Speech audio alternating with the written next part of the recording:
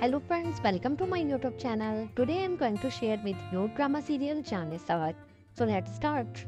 حالات کو جب اس بات کا پتہ چلتا ہے کہ دعا نے اب نوشیروا کے ساتھ آفس آنا جانا شروع کر دیا ہے تو پشمالا سوچتی ہے میں بھی بہانہ کر کے نوشیروا کے آفس میں جانا شروع کر دیتی ہوں پھر میرے لیے دعا کا پتہ نوشیروا کی زندگی سے کاٹنا اور بھی آسان ہو جائے گا۔ کشمالہ ماں بیگم سے کہتی ہے، میں بھی اب نوشیروا کے آفس کو جوائن کرنا چاہتی ہوں تاکہ میرا بھی دن سکون کے ساتھ گزر سکے۔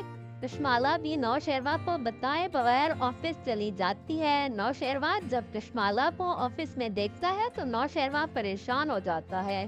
کیونکہ نو شیرواں سمجھتا ہے جب دعا اور پشمالہ اسی ایک آفس میں کام کریں گی تو پشمالہ جس کی نیت شروع سے ہی خراب ہے، وہ دعا کو کبھی خوش نہیں رہنے دے گی۔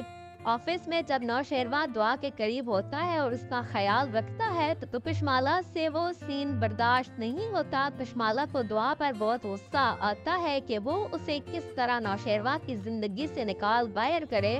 اس ڈرامے میں اصل ٹویسٹ تو اس وقت آتا ہے جب دعا کا سامنا فراز سے آفس میں ہوتا ہے۔ دعا جب فراز کو دیکھتی ہے، تو دعا کو فراز پر اتنا غصہ آتا ہے کہ وہ فراز کو ایک زور کا منہ پر تھپڑ مارے۔ لیکن دعا یہ بھی نہیں چاہتی اس کے ماضی کا اثر اس کے مستقبل پر پڑے اور اس کی زندگی برباد ہو۔ ادھر فراز بھی دعا کو آفس میں دیکھنے کے بعد کافی پریشان ہو جاتا ہے۔ لیکن فراز کی پریشانی اس وقت اور بھی بڑھ جاتی ہے جب فراز کو پتہ چلتا ہے کہ یہ لڑکی تو میرے باس کی بیوی ہے۔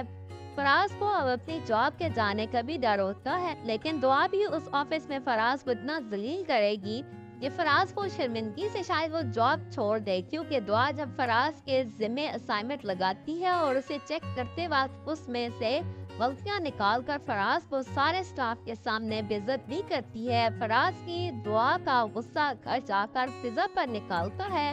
فراز بھی سوچتا ہے، اب وہ دعا کو فضا کے بارے میں بتا کر بلیک میل کرے گا تاکہ دعا کو بھی احساس ہو کہ میں اس کی بہن کا شور ہے۔